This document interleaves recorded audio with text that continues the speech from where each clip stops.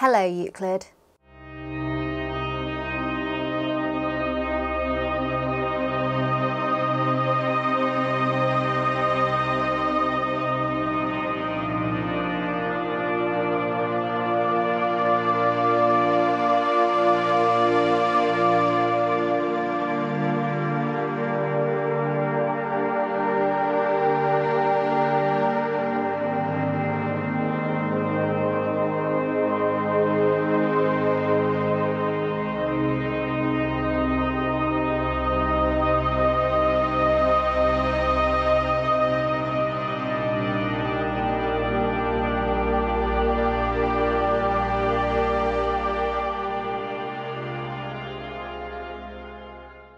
What you just saw there were the first five calibrated images of ESA's Euclid Space Telescope, transitioning from observations taken from DSS-2, so ground-based data.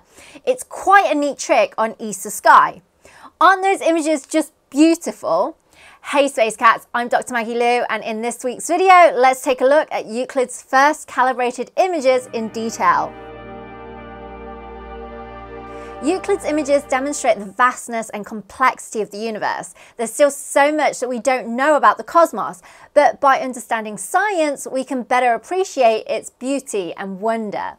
This is why I'm thrilled for Brilliant.org for sponsoring this week's video.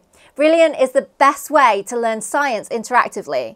One of the things that I love most about Brilliant.org is that it teaches complex concepts like math, data science, and computer science in a way that's both engaging and effective. Their course on astrophysics delves into topics like cosmology and the mysterious dark energy. These are the main enigmas that the Euclid Space Telescope aims to investigate. To try everything Brilliant has to offer for free for a full 30 days, visit brilliant.org forward slash spacemog or click on the link in the description box below. The first 200 of you will get 20% off Brilliant's annual premium subscription. So back to the images. Now usually you wouldn't be seeing a color image because in astronomy we typically work with single band images like a red only, green only or blue only image. But by combining the images of both instruments, VIS and NISP, recall the VIS instrument takes images in optical and the NISP instrument takes images and spectra in infrared. By first aligning these two instruments' images and then assigning the shorter wavelength observation, the optical, to the blue light, and the longer wavelength observations, the two near infrared images, Y and H bands, to the red and green light, we get a full color image. Perseus is of course my favourite of the bunch, being a massive galaxy cluster. You can see not only the thousands of galaxies in the gravitationally bound structure, but also the hundreds of thousands more behind the galaxy cluster, many more than what's being seen from the ground. Many of these objects had appeared as a single galaxy before, and it turned out they were two or even more galaxies. This is an effect known as deblending, and astronomers have been working hard to do this effectively. But it's hard to do so if you don't have the resolution. And this is particularly the case when you're observing from the Earth, where you have to see through the entire atmosphere. Euclid has amazingly sharp vision from space. Surprisingly, you can still see the ghosts in the image, which I spoke about in my previous Euclid video. The ghosts are these fuzzy blue blobs. They're caused by reflections of light, either from within or outside of the telescope, from, for example, stray light entering the telescope. You know it's only in the optical data because it's blue. These things are impossible to completely remove, but I'm surprised to see so much of it. I had a very careful look for signs of strong lens galaxies, but there wasn't anything obvious to me. I did find this nice question mark pair of galaxies though. In any case, there's no question about it, the hundreds of thousands of background galaxies here will be weak gravitationally lensed by this massive galaxy cluster. Their light will be distorted by the gravitational influence of the cluster. By such a tiny amount, we can't see it by eye, but instead need to do statistical analysis to infer it. We can also see several dwarf galaxies, galaxies with just a few billion stars compared to the hundreds of billions in our own galaxy, the Milky Way. The globular cluster, NGC 6397, is a spherical collection of over 500,000 stars tightly bound together by gravity. Globular clusters are some of the oldest objects in the universe, containing a wealth of clues about the history and evolution of their host galaxies, like in this case, our own galaxy, the Milky Way. But this one is one of the oldest known globular clusters, with an estimated age of about 13.4 billion years. This makes it nearly as old as the universe itself, which is estimated to be around 13.8 billion years old. Here, blue stars are younger and red stars are older. Due to its brightness and relatively close distance, NGC 6397 is a popular target for both amateur and professional astronomers, and it can be observed even with a small telescope. The stars, which are super bright in this image, so many of them have diffraction spikes caused by the interaction of light with the edges of the telescope aperture and its support struts. But also notice that some of them are rainbow coloured.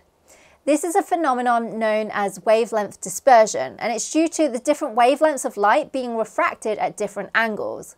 It's kind of like how a prism breaks white light into a spectrum of colours. By the way, these spikes only start exhibiting a rainbow effect when you're perfectly focused. So great job, Euclid telescope operators. The irregular galaxy NGC 6822 is an irregular galaxy, so not your usual elliptical or spiral shaped galaxy. It's a small galaxy containing only a few billion stars, but you can see several patches of pink bubbles spread all over the galaxy. These are star forming regions where new stars are being born. We can also see the presence of a number of dust lanes, which are regions of dense gas and dust. By studying irregular galaxies such as NGC 6822, we get to learn more about the early stages of galaxy formation. Spiral galaxies are galaxies that have a spiral-shaped structure. IC 342 is one of the largest spiral galaxies in our vicinity, but it's actually really difficult to see it because it's hidden behind the dust, gas and stars of our Milky Way disk. The Euclid image of IC 342 shows the galaxy in great detail, revealing the prominent spiral arms wrapped in tendrils of dust lanes. These consist mostly of tiny solid particles like silicates and carbon-based compounds that absorb and scatter light, especially at shorter wavelengths, which makes the dust lanes appear dark. There's also a H2 nucleus with a high density of stars and the presence of significant amounts of ionized hydrogen gas, meaning it's an active star-forming region. This is likely to harbour a supermassive black hole. And finally, the stunning Horsehead Nebula. It's a dark nebula located in the constellation Orion. It's essentially a cloud of gas and dust that's so dense that it blocks out the light from the stars behind it. The Horsehead Nebula is one of the most iconic nebulae in the sky. It's been photographed countless of times, but Euclid has been able to capture the stunning detail in under an hour of observation. This is a stellar nursery where star formation is actively happening. The nebula itself is mostly made up of cold molecular hydrogen, which gives off very little heat or light. Here you can see filaments of gas and dust that are being sculpted by the wind from nearby stars. You can still see the ghosts, which appear more white here, and other camera artifacts. But these shouldn't affect the ability for the science here, which is looking for Jupiter mass-like planets and baby stars hidden behind the clouds. Overall, all I can say is Euclid's first images are stunning. It's a testament to the power of this new telescope. The images provide unprecedented detail of the cosmos. I hope you're as excited as I am about the future of the Euclid mission and for more images to come. And definitely check out ESA Sky to make it easy to see all of these images in one place and zoom in and out of them. That's all for this week's video. Thank you for my YouTube Perks members for supporting. And as always, if you enjoyed it, please don't forget to leave me a like, share and subscribe.